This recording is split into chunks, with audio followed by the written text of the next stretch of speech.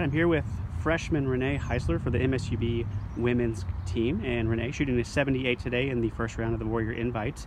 Renae, talk about your performance. Um, I think I did pretty well. I hit the ball well. Uh, just putts weren't dropping today. So yeah, there's nothing you can really do about that. The greens were tough.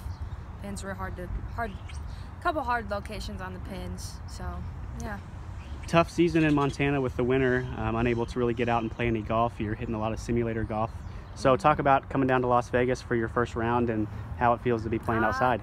Yeah, so I really just went in there not expecting very much of myself. I just wanted to keep the ball in play, put the ball in the fairway, keep it on the greens, just two putt at best if that was possible. I just simulators are so different than playing on the actual golf course. So I was just trying to keep the ball in play, trying to put it where I wanted it over our practice rounds. And tomorrow, round two, final round here in Las Vegas.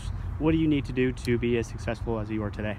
I think that I just need to stay focused, a little more focused, uh, and probably just keep my head down, swing smooth, and call it a day.